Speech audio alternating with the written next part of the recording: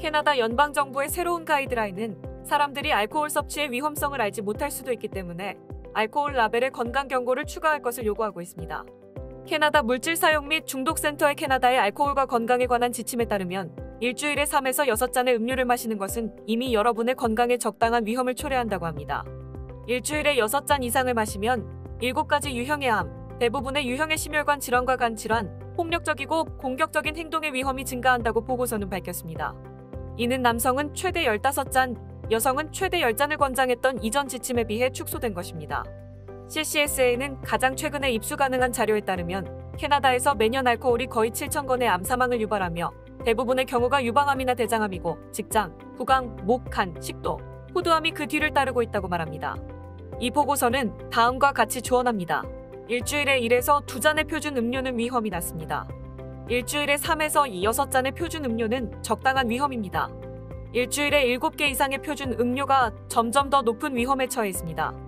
만약 당신이 술을 마실 것이라면 어느 날이든 두 잔 이상 마시지 마세요.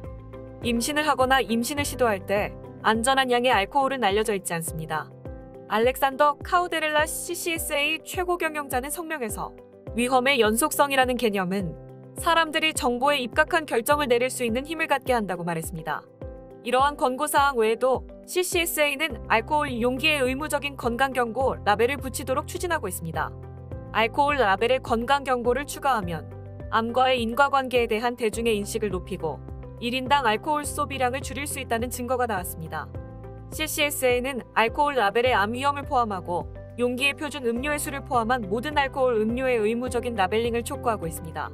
많은 캐나다인들은 알코올 섭취가 암의 위험을 증가시킨다는 것을 모르고 있으며 대부분은 그들이 안전하지 않은 양을 마시고 있다는 것을 깨닫지 못하고 있다고 캐나다 암협회의 최고 경영자인 안드레아 실은 성명에서 말했습니다.